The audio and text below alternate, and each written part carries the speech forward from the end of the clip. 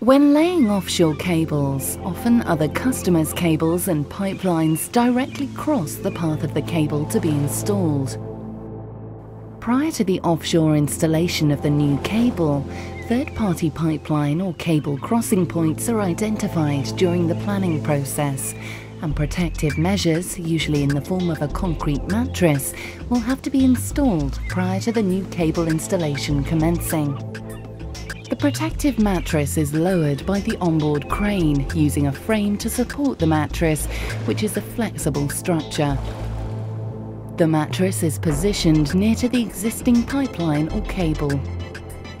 An ROV, such as the Predator, monitors the mattress for alignment and position.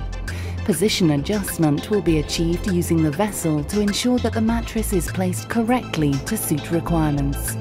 Once in position, the mattress is released, again by the intervention of the ROV, and the frame recovered back onto the barge, ready for placing the next mattress.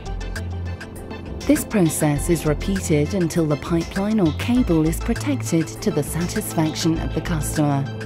The final positioning of the cable protection will be identified back to the cable installation vessel, so that any minor tweaks of the cable route can be carried out prior to the installation commencing.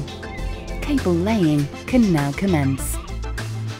To add even more protection, the section of cable passing on top of the mattress will have additional protection applied, an example of which would be Uraduct, but several products are on the market for this. As part of the cable crossing operation, the plough is recovered to the cable installation vessel. With this operation completed, the extra cable protection can now be fitted. It is normal for this process to occur 500 metres before the cable being laid crosses the pipeline or third-party cable. The area of cable in question will have already been pre-calculated, so the Uraduct adequately covers the cable surface area passing over the cable mattresses with a certain amount extra each side.